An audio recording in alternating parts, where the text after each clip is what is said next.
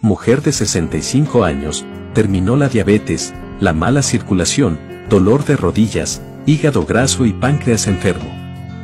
Bienvenido a Más Natural. Si quieres limpiar los pulmones esta receta natural está hecha para ti, a base de ingredientes naturales. En el modo de preparación, utilizaremos la mitad de un limón. Dos astillas de canela. La mitad de una cebolla morada y un puñado de romero seco. En un litro de agua incorporaremos la mitad de una cebolla, un puñado de romero, dos astillas de canela y un limón partido por la mitad.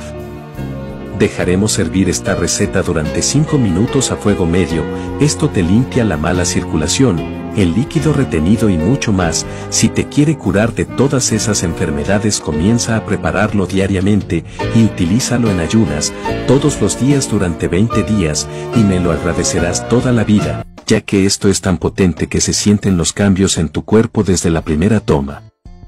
Si no está padeciendo de azúcar en la sangre y solo quiere limpiar el hígado, el páncreas o la mala circulación, este te lo puede endulzar con una cucharada de miel de abejas natural.